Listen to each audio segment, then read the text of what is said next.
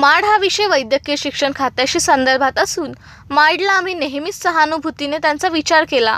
माडच्या मागण्यासंदर्भात मुख्यमंत्री आणि वैद्यकीय शिक्षण मंत्री पूर्णपणे विचार करतील आणि निर्णय घेतील. मात्र हा संप करण्याचा वेळ नाही. जेथे महामारी आहे तेथे संपाचा विचार करणे बरोबर नाही. मार्चची सेवा महत्त्वाची असून त्यांनी या वेळेचे भान ठेवावे असेही टोपे यांनी सांगितले.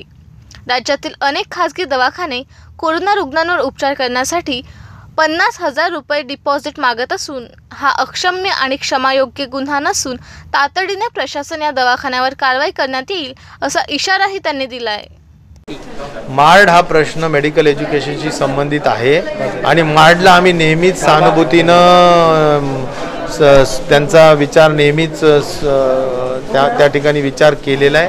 आणि योग्य जे काही मार्डच्या मागण्या असतात त्या बाबतीत निश्चित प्रकारे माननीय मुख्यमंत्री आणि माननीय मंत्री श्री अमित देशमुख त्यावर विचार करतील निर्णय घेतील असा मला विश्वास आहे. पण पण हा संप करण्याचा वेळ नाही.